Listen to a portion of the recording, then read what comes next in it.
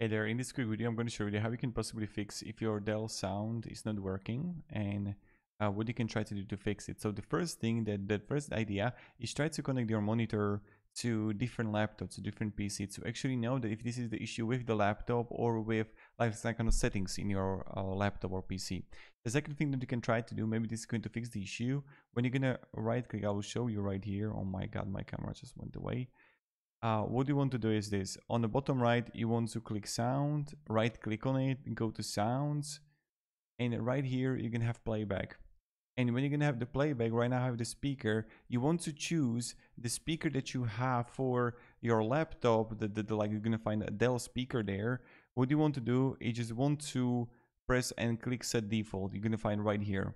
And then you're gonna click properties and then you're gonna have levels and you want to have it fully volume and try it. Maybe it's going to work out. Have a great day and goodbye